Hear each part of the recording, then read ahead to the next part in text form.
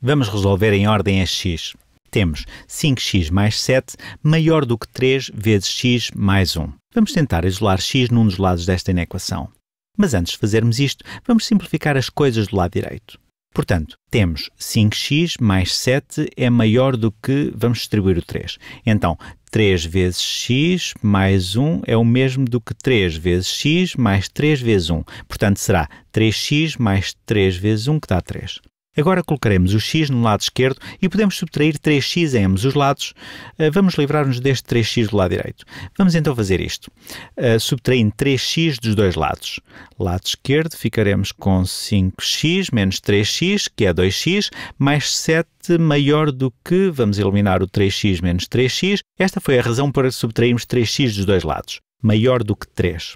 Agora podemos subtrair 7 a ambos os lados para nos livrarmos deste 7. Então vamos subtrair o 7 nos dois lados. E no lado esquerdo temos 2x mais 7 menos 7 dá 2x. 2x é maior do que 3 menos 7, que dá menos 4. Vejamos, temos 2x é maior do que menos 4, como só queremos um x aqui, podemos dividir os dois lados por 2. Tendo em conta que 2 é um número positivo, não temos de trocar o sinal da desigualdade. Vamos só dividir ambos os lados por 2 e ficamos com x maior do que menos 4 a dividir por 2, que dá menos 2.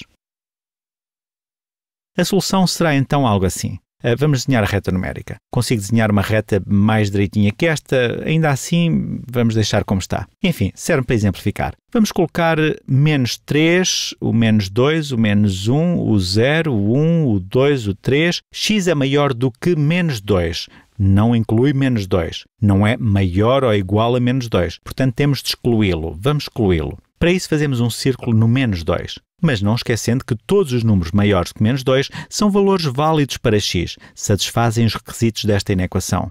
Então, todos os valores que sejam superiores a menos 2 são solução. Vamos tentar um que deve resultar e depois outro que não resulte. O zero deve funcionar. É maior do que está aqui na reta. Vamos ver se funciona mesmo. 5 vezes 0 mais 7 tem de ser maior do que 3 vezes 0 mais 1.